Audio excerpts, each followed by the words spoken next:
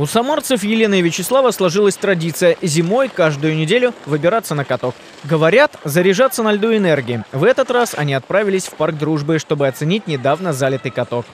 Тут большой каток, елка, музыка. Очень классно, атмосферно. Именно вот на этом катке увидели объявление, что тут очень красочно, и музыка, и вот огни. Очень создает такое новогоднее настроение.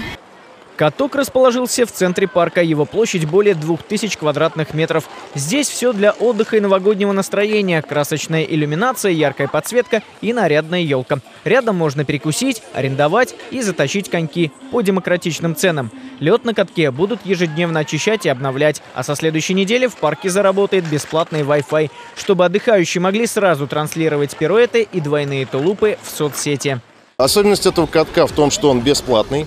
То есть сюда может прийти любой желающий. Пункт проката и заточка коньков работают ежедневно с 10 утра до 22 часов. Общая площадь катков составит 15 тысяч квадратных метров. Такие ледовые площадки появятся на площади Куйбышева, на набережной и в городских скверах.